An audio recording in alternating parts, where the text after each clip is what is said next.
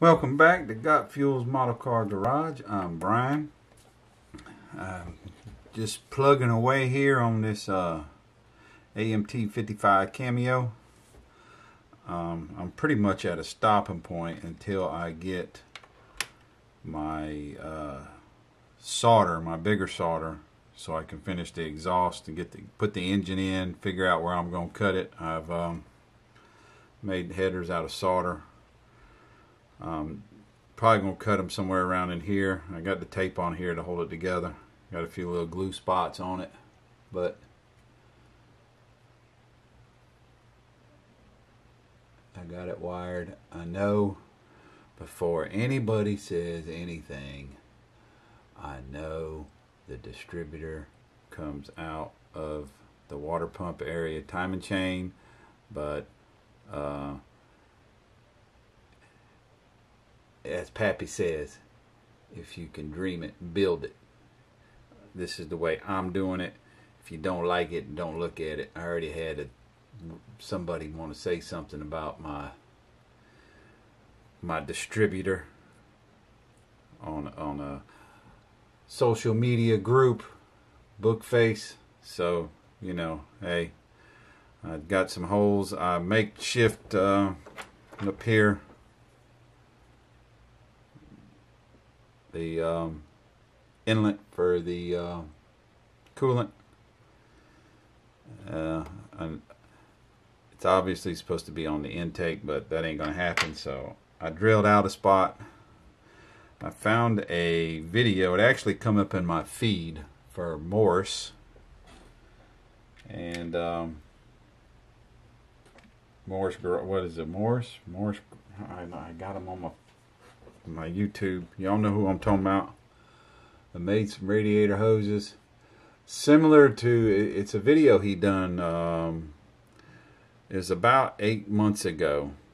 It's one of them videos that just come up randomly on my feed. He used solder and uh, some hose here that he said he got it from Joann's and this was all I could find. This was the pack it came in. Uh, both um, the tubing black tubing and some white tubing the same size. But after making a radiator hose I thought I had a piece of it laying up here but I do not um, it was just out of proportion. As you, let me get a piece of my hose here. One of my hoses. It, it just looked way too, a whole lot bigger than this on there. I, I don't understand why, but it did. It looked really, really fat. I thought I saved a piece up here. I guess I didn't. Here it is with the with the hose band on it.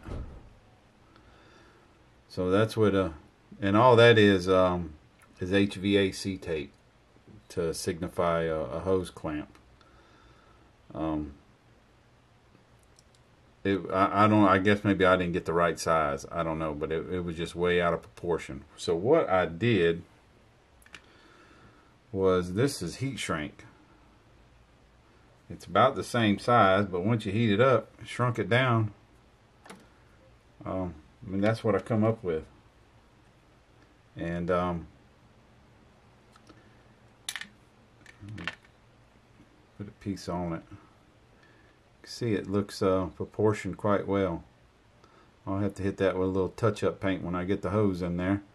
But I already test fitted and got everything cut to length. So here's my interior. Hopefully we can get a shot of the gauges.